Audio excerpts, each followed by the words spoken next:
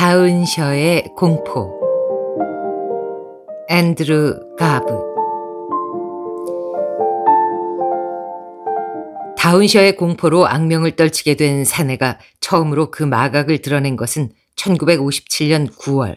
내가 다운셔주 경찰청장을 그만두기 직전이었다. 그 무렵 돈체스터의 엑셀시오르 자동차 학원에서 강사로 일하고 있던 존 아일스라는 남자가 어느 날 밤 일이 끝난 뒤 자동차를 여느 때처럼 학원 옆에 조용한 주차장에 세워두고 영화를 보러 갔다.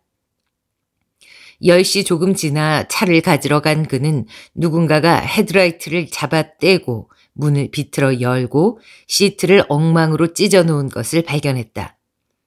운전석에는 돈체스터 헤럴드지에서 오려낸 기사가 놓여 있었는데 그것은 아이스가 최근에 말려든 재판을 보도한 기사였다.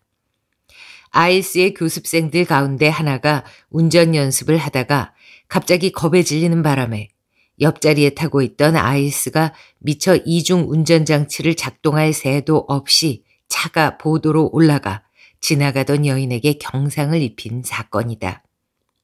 이 기사에는 한 장의 종이 쪽지가 핀으로 꽂혀 있고 거기에는 범인이 남긴 듯한 편지가 연필로 적혀 있었다. 지난달 다운셔에서는 교통지옥으로 15명이 사망하고 120명이 부상했다. 당연하다. 너 같은 놈이 풋내기 운전자를 책임지고 있으니까.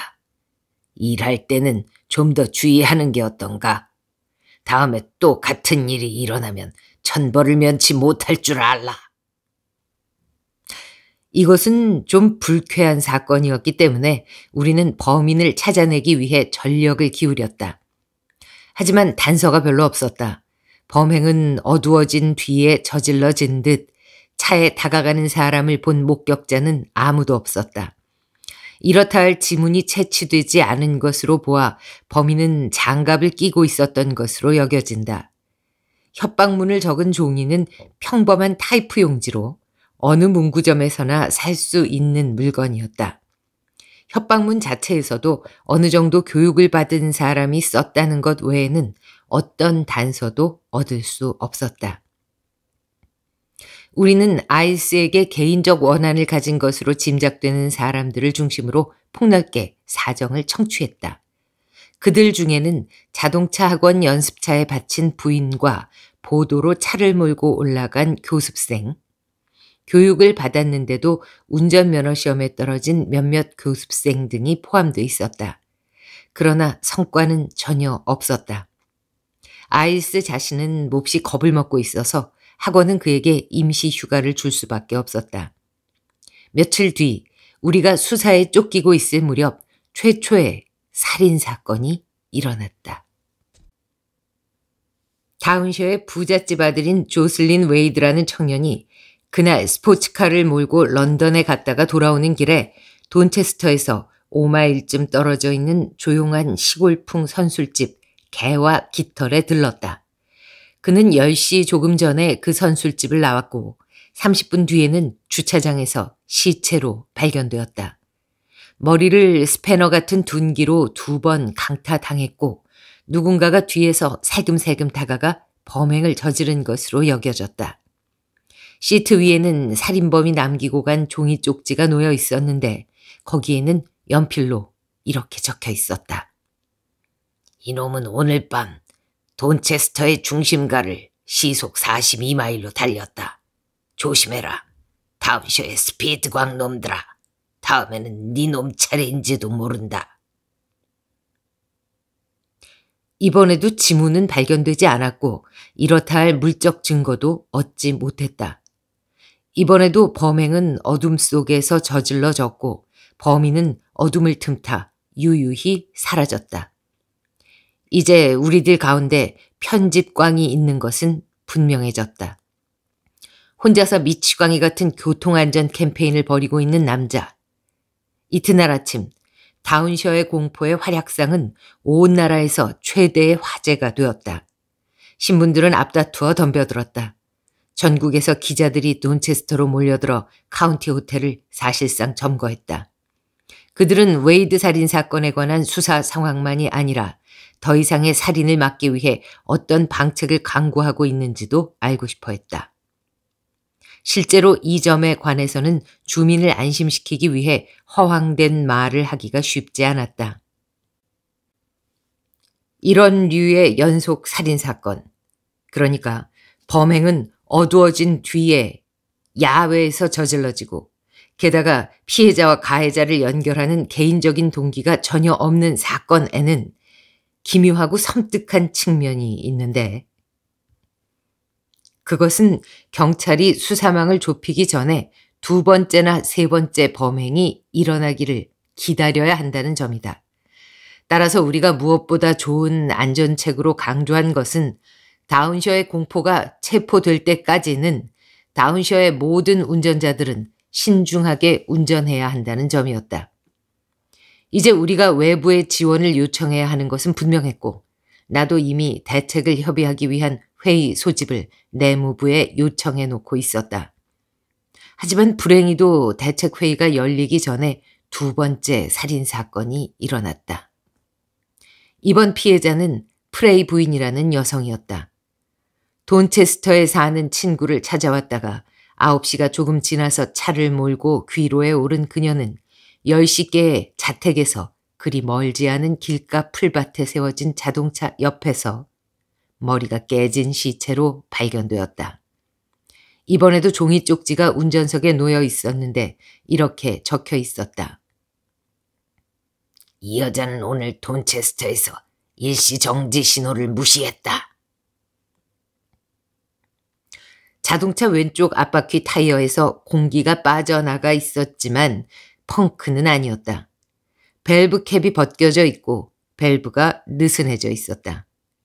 이것으로 미루어 보아 다운셔의 공포는 낮에 이미 그녀를 점찍고 친구 집까지 미행하여 어두워진 뒤에 길거리에 세워둔 차에 밸브를 풀어놓고 그 때문에 집으로 가는 도중에 오도가도 못하게 된 그녀를 습격한 것으로 여겨졌다.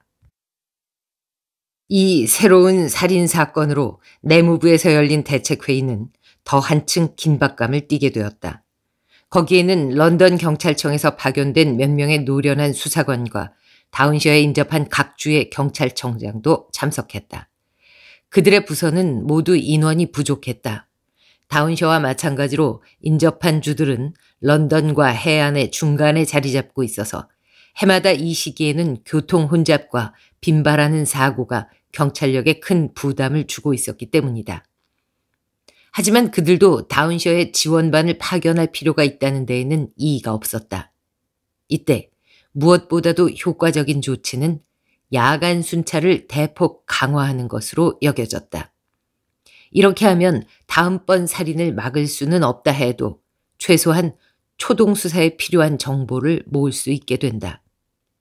다운셔의 공포는 그 피비린내 나는 소풍을 끝내면 많은 피를 뒤집어 쓸 테고 따라서 우선 남의 눈에 띄지 않는 은신처로 달려가 범행 흔적을 지우려 할 것이다.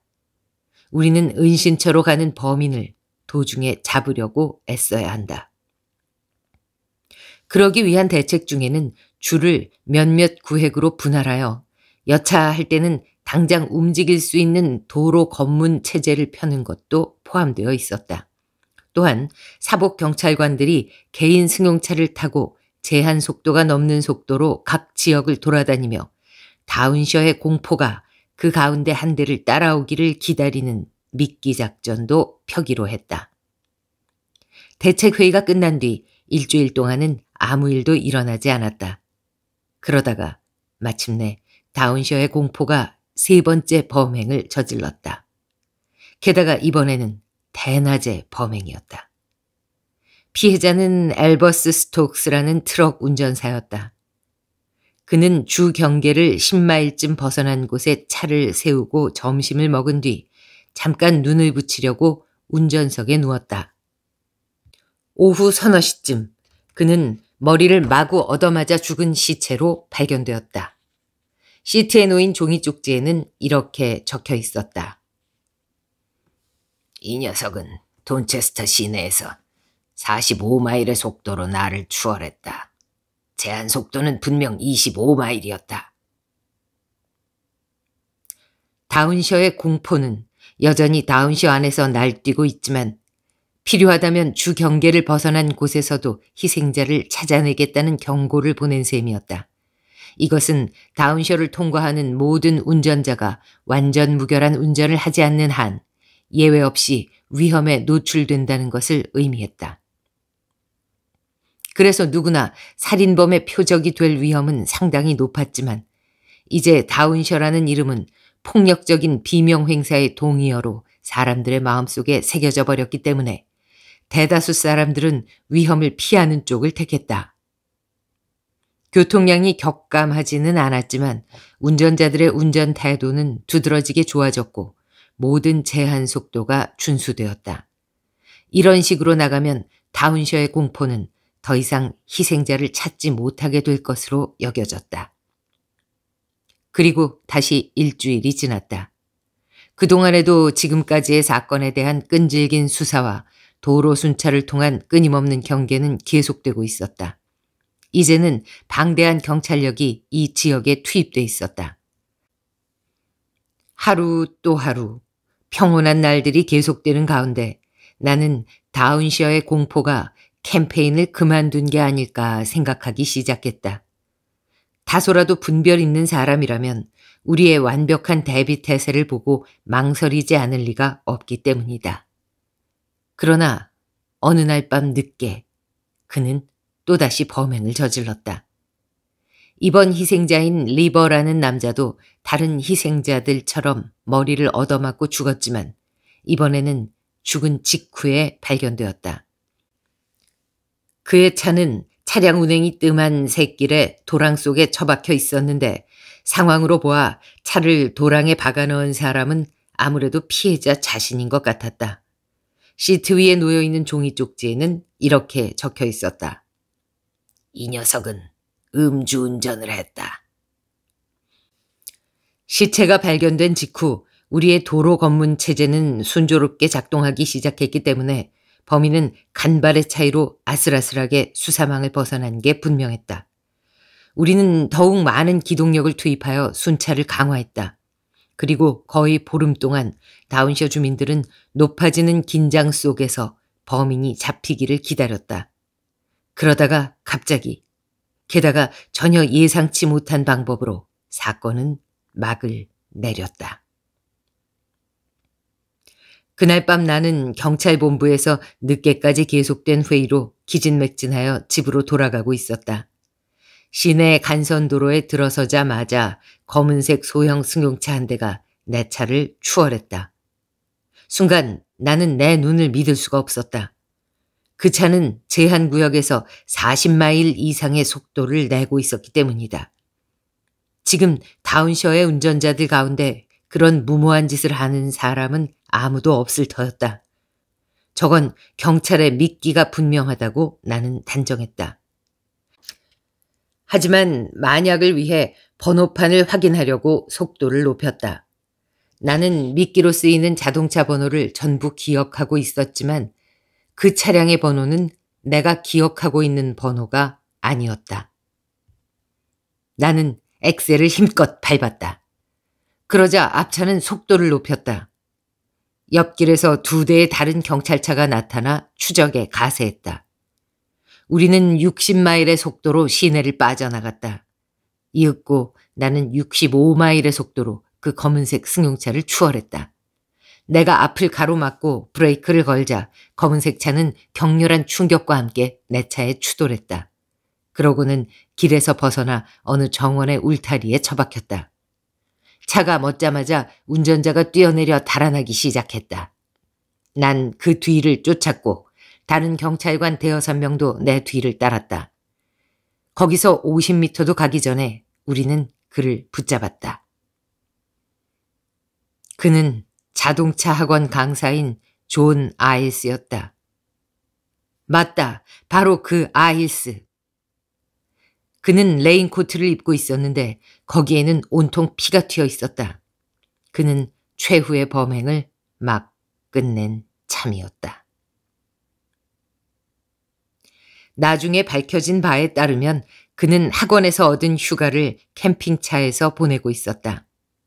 이웃한 주의 어느 한적한 시내가에 캠핑차를 세워두고 범행을 저지른 뒤에는 곧장 거기로 돌아가서 뒤처리를 하곤 했다.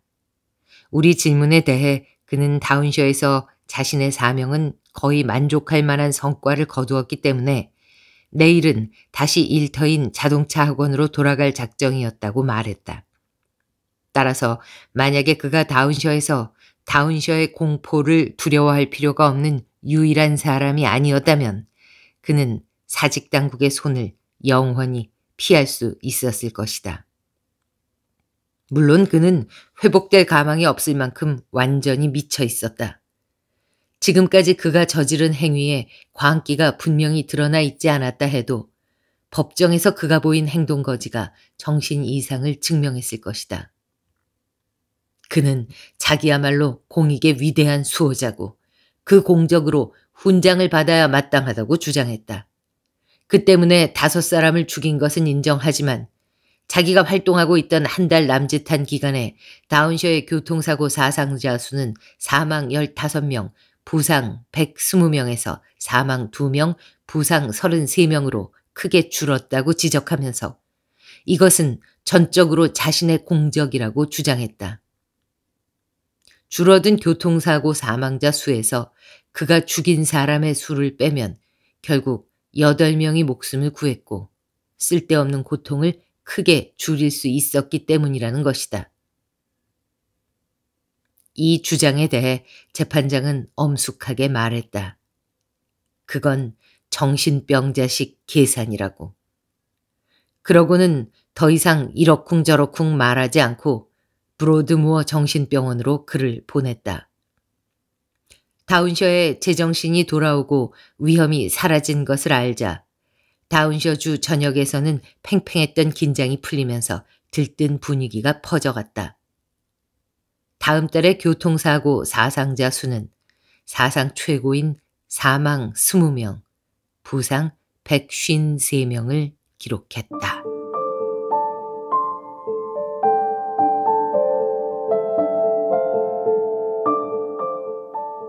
네. 1957년이 배경인데요.